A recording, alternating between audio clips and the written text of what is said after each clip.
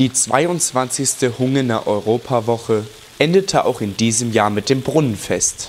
Das wurde bereits in 23. Auflage gefeiert. Los ging es am Samstagnachmittag mit dem ökumenischen Gottesdienst auf dem Marktplatz. Später hieß es dann Bühne frei für ein buntes Programm aus Tanzdarbietungen und Gesangseinlagen.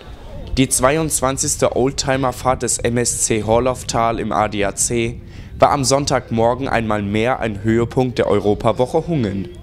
90 Automobile und Motorräder der Baujahre 1926 bis 1983 waren beim Start und Ziel sowie bei der Ausstellung am Festplatz zu bewundern. Insgesamt 90 Helferinnen und Helfer hatte der MSC im Einsatz.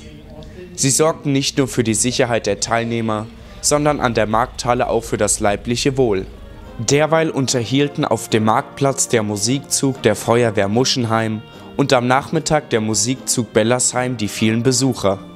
Mittags luden Hungner Vereine ein und boten kulinarische Köstlichkeiten, darunter der Schweinebraten mit Knödler und Kraut, der Egerländer Gemäu oder der türkische Kulturverein mit seinen landestypischen Spezialitäten wie Linsenfrikadellen oder Börek.